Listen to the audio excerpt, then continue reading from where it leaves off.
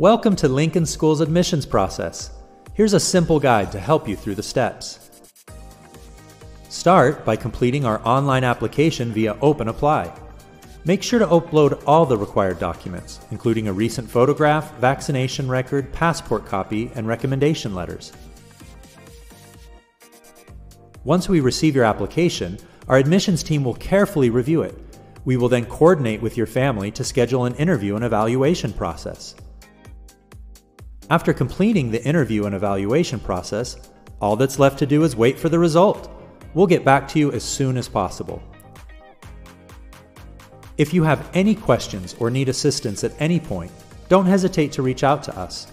You can contact us through our website, social media, phone, email, or WhatsApp.